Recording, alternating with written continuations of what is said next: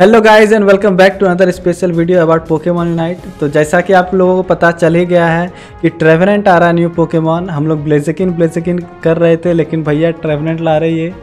तो आप जो, आप लोगों को जैसा पता है, ये भैया फैंटम से इवॉल्व होता है ट्रेवरेंट में। तो जब ये आएगा तो पहले फैंटम आएगा, फिर ट्रेवरेंट बनेगा। ये तो नहीं पता कितने लेवल पर इवॉल्व हो रहा है तो वो भाई जब ये आएगा, तभी पता चलेगा कितने लेवल पे इवॉल्व होगा।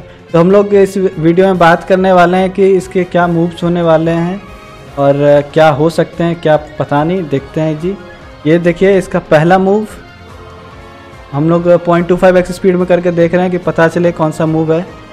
तो भाई, जैसा देख के लग रहा है, ये मूव होगा कर्स ठीक है कर्स क्या करता है? इसमें कर्स का तो है कि ये अपनी एचपी भी कम करता है और उसके हिसाब से फिर अपोनेंट को मार के उसकी और एच कम करता है। तो कर्स का ये है मूव नेक्स्ट मूव की ओर चलते हैं हम लोग। तो नेक्स्ट मूव इसका क्या होने वाला है? ये रहा।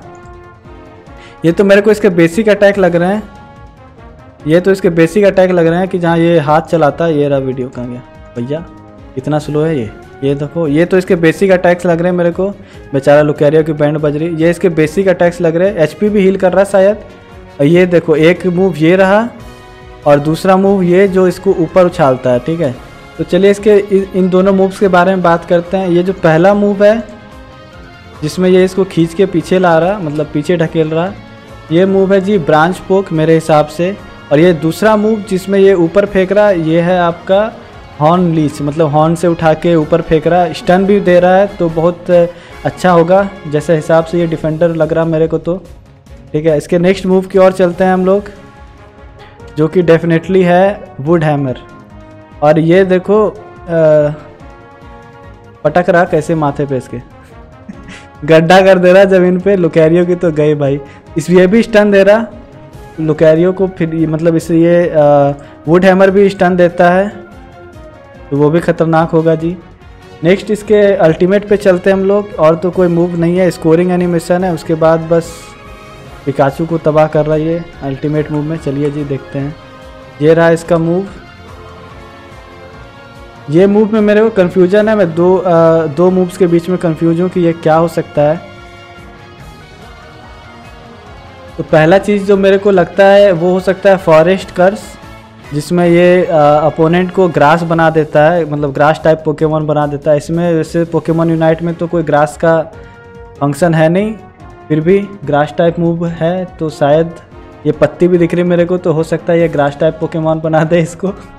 और दूसरा जो है ये फैंटम फोर्स ये दो मूव्स के बीच में कन्फ्यूज़न है मेरे को।